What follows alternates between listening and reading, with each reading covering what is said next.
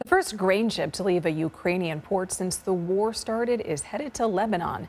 The ship left Odessa early Monday morning carrying 26,000 tons of corn. It passed an inspection in Istanbul yesterday. The shipment was made possible after Turkey and the UN brokered a deal last month.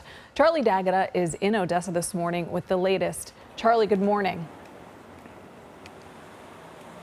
Good morning to you. That ship actually left port here in Odessa on Monday. The Russians have been blockading Ukrainian ports since the invasion in February. Now, today, Ukrainian authorities told us at least 16 more grain ships are stuck here in port waiting to leave.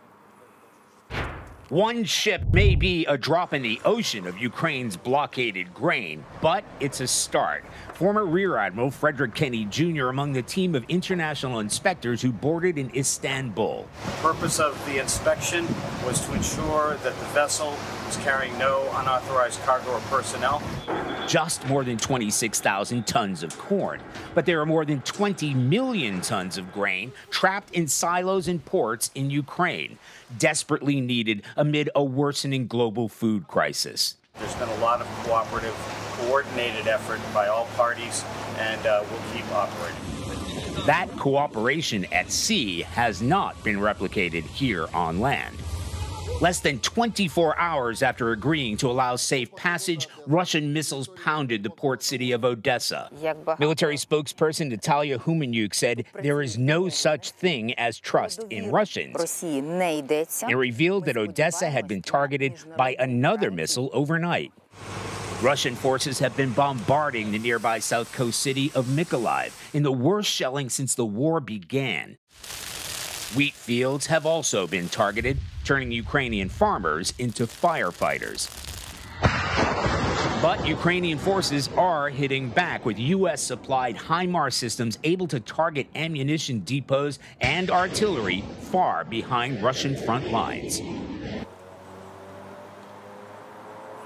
Yesterday, President Zelensky said one cargo ship is nothing compared to what's unfolding here. He said the consequences of this war are horrible, not just for Ukraine, but for everyone in the world. Nikki and Lana? Charlie, what can you tell us about reports of a dispute between Ukraine and Lebanon over a separate grain shipment? Yes, well, it does get confusing because Lebanon is part of the picture. But what happened recently in the past couple of days is the Ukrainian ambassador in Lebanon has requested that a ship that is in, in, in the, the port there, Tripoli in Lebanon, be held back because he alleges that the grain um, and, and the produce on that ship are actually from here and have been stolen by, stolen by the Russians. Now, where it gets complicated geopolitically is Lebanon, with its proximity and loyalties to Syria, and the Russian loyalties to Syria. The Russians have applauded the Lebanese leadership to say, nope, this we have legitimate papers this ship should be able to move on. But as far as the Ukrainians are concerned, they believe that this ship was stolen by the Russians, mm-hmm. then made its way to Lebanon, and that's why, why they've made this appeal to hold that ship back. But at the moment, Lebanese prosecutors said this ship is free to go. Hmm.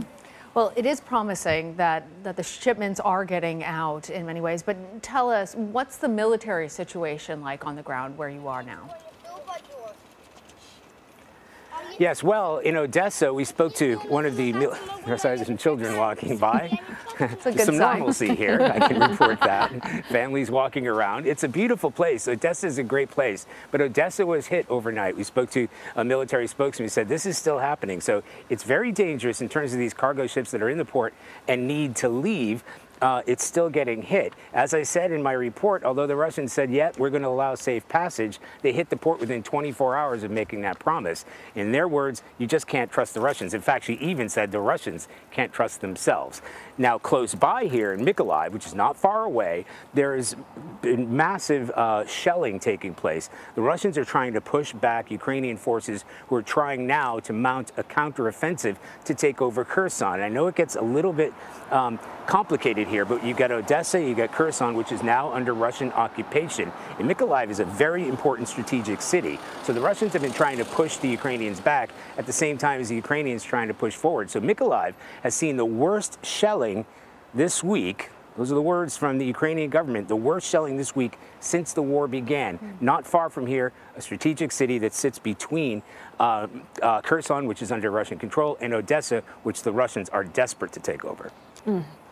Charlie, as you know, the U.S. Senate voted to approve the NATO membership for Sweden and Finland. Could this impact Russia's strategy in the war?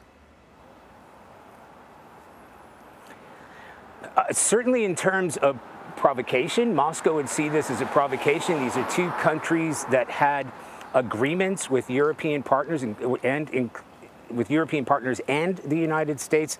But in terms of a military alliance, we need to keep reminding ourselves that NATO is a military alliance. Now you've got two countries that have been relatively neutral that are right along the Russian border. Strategically, does that matter? Ultimately, yes, because then you can set up NATO weapons along these what may be NATO countries. This isn't something that happens immediately. There are other NATO partners that all have to agree agree with that. Um, as well, and that that's a complicated process. It can and it can take some time, even though they said that they'll find a way to speed things up to expedite that process. So in, tor- in terms of the short term, militarily, strategically, it's not going to make that much of a difference for what President Putin and the Russian army and the Russian military are trying to achieve here in Ukraine long term, because we have to think of what's happening geopolitically between Russia, Ukraine, why it matters to the United States, why it matters to the West, why it matters to NATO partners, it is absolutely an escalation as far as the Russians would be concerned to have two of these countries militarily involved with the United States and NATO partners right up against the Russian border. All right, Charlie, thank you.